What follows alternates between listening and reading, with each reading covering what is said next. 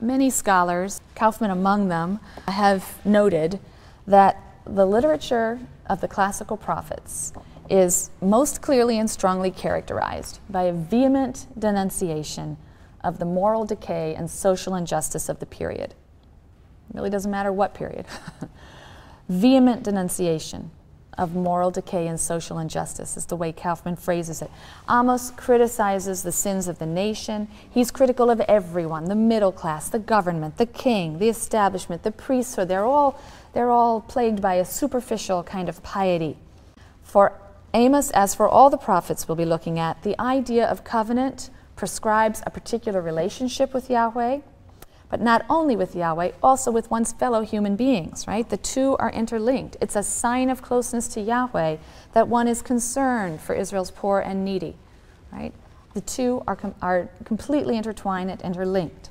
And so Amos denounces the wealthy, he denounces the powerful, and the way they treat the poor. I'm going to be reading some passages from Amos to illustrate some of these themes. So, Amos chapter 4, verses 1 to 3.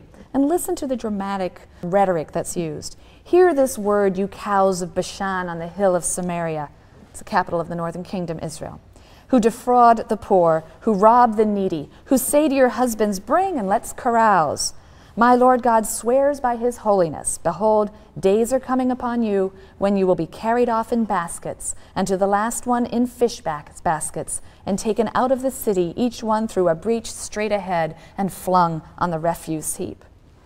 It's a wonderful pun here because the wealthy women of Samaria are referred to as cows of Bashan. Now, Bashan is an area that's very rich pasture land in the Transjordan. And also, it's very common in Canaanite literature to refer to the nobility and even to gods with terms like bull or ram or cow. These were not insulting terms as they might be in our culture. These were, in fact, terms that did not offend. These were very complimentary terms. So when he refers to the cows of Bashan, he speaks to the women of Samaria as the cows of Bashan, he's flattering them to begin with.